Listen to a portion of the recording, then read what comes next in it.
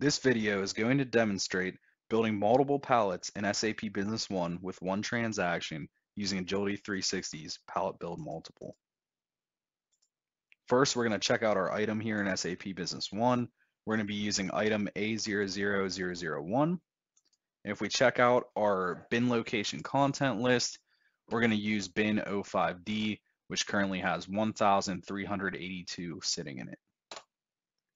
Now we're going to jump over to Agility Explorer and check out our inventory pallet view grid. This is going to show all of the pallets sitting in the warehouse in the Agility system. It's sorted by most recent, so whenever we create our new pallet and refresh, we'll see it appear at the top of this grid here.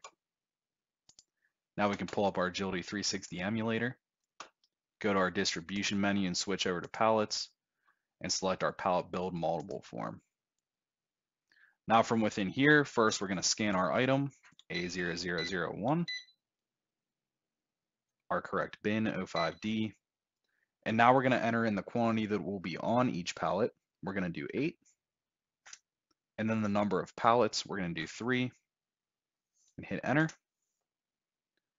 Now those pallets are created in the system.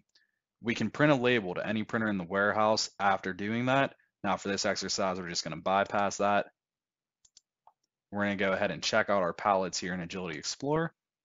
We should see three new pallets. There they are, 9668, 669, and 670, all with that same item in a quantity of 8. If we jump back over to SAP here, we're just going to illustrate that those items are still existing in the same section of the warehouse.